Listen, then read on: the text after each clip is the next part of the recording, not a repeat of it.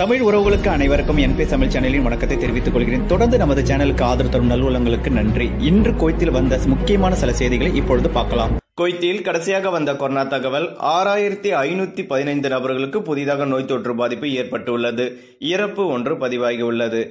ஐயாயிரத்தி அறுபத்தி மூணு நபர்கள் குணமடைந்து வீடு திரும்பியுள்ளனர். ஐசியூவில் எண்பத்தி ஆறு நபர்கள் அனுமதிக்கப்பட்டுள்ளனர். கொரோனாவாடில் நானூத்தி பத்து நபர்கள் அனுமதிக்கப்பட்டுள்ளனர். தற்சமயம் குவைத்தில் கொரோனா வைரஸால் பாதிக்கப்பட்டு இருக்கும் நபர்கள் நாற்பத்தி எட்டாயிரத்தி தொள்ளாயிரத்தி முப்பத்தி ஐந்து நபர்கள் இருக்கின்றனர். குவைத்தில் பிசிஆர் பரிசோதனைக்கான அதிகபட்ச கட்டணமாக ஆறு தினார்களாக விலை நிர்ணயம் செய்து சுகாதார அமைச்சகம் அறிவிப்பு வெளியிட்டுள்ளது. இந்த புதிய கட்டணம் ஜனவரி முப்பதாம் தேதி முதல் நடைமுறைக்கு வரும் என்று அந்த அறிக்கையில் தெரிவிக்கப்பட்டுள்ளது. தற்போது பிசிஆர் பரிசோதனைக்கான அதிகபட்ச கட்டணம் ஒன்பது தினார்களாக நடைமுறையில் உள்ளது என்பது குறிப்பிடத்தக்கது. குவைத் வானிலை ஆய்வு மையம் நாட்டில் வடமேற்கு திசையில் இருந்து மணிக்கு சுமார் அறுபது கிலோமீட்டர் வேகத்தில் காற்று வீசும் என்று தெரிவித்துள்ளது. இந்த காற்றினால் தூசி ஏற்படும் என்றும் தொலைதூரம் ஆயிரம் மீட்டருக்கு குறைவாக இருக்கும் என்றும் வானிலை ஆய்வு மையம் வியாழக்கிழமை பிற்பகல் வெளியிட்ட அறிக்கையில் தெரிவித்துள்ளது. வேண்டுமென்றே போக்குவரத்திற்கு இடையூறு ஏற்படுத்தியதற்காகவும் தரைவழி பாதைகளை கடைபிடிக்காமல் இருந்ததற்காகவும் போக்குவரத்து பேருந்தை பொது போக்குவரத்து துறையினர் பறிமுதல் செய்தனர்.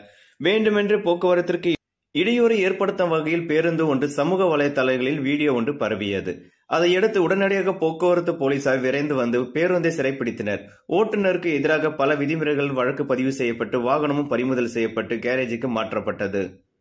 போதைப்பொருள் வியாபாரத்தில் ஈடுபட்டதாக சந்தேகத்தின் பேரில் குடிமகன் மற்றும் அவரது காதலியை குவைத் போதைப்பொருள் தடுப்பு போலீசார் கைது செய்துள்ளதாக உள்ளூர் செய்தித்தாள் ஒன்று தெரிவித்துள்ளது. போலீசார் அவர்களிடம் சோதனையிட்டதில் அறுநூறு கிராம் போதைப் பொருட்கள் அவர்களிடம் இருந்தது கண்டுபிடித்தனர். சந்தேக நபரின் வயது பெயர் குறிப்பிடப்படவில்லை. சமீபத்திய மாதங்களில் குவைத் பல போதைப் பொருட்கள் கடத்தலை மற்றும் போக்குவரத்து விதிமுறைகளையும் முறியடித்துள்ளது. குவைத்தில் போதைப் பொருள் வழக்குகளின் மரண தண்டனை உட்பட கடுமையான தண்டனைகள் விதிக்கப்படுகின்றன. இன்றைய ஒரு தினார் இருநூத்தி நாற்பத்தி ஐந்து ரூபாய் எண்பத்தி எட்டு காசுகள். இலங்கையோட மதிப்பு அறுநூத்தி ஐம்பத்தி மூன்று ரூபாய் பதினாறு காசுகள். இன்றைய ஒரு கிராம் இருபத்தி நாலு கேரட்டின் தங்கத்தின் விலை பதினேழு தினார் அறுபத்தி அஞ்சு ஃபில்ஸ் இன்றைய ஒரு கிராம் இருபத்தி ரெண்டு கேரட்டின் தங்கத்தின் விலை பதினேழு தினார் முப்பத்தி ஐந்து ஃபில்ஸ் மேலும் வேறு ஒரு செய்திகளுடன் உங்களை மீண்டும் சந்திக்கிறேன். இதுபோல் கோய்த்து நடைபெறும் அனைத்து செய்திகள் மற்றும் தகவலை உடனுக்குடன் தெரிந்து கொள்ள நமது என்பிஎஸ் தமிழ் சேனல் சப்ஸ்கிரைப் பண்ணுங்க லைக் பண்ணுங்க ஷேர் பண்ணுங்க. நன்றி வணக்கம் சகோதர சகோதரிகளே.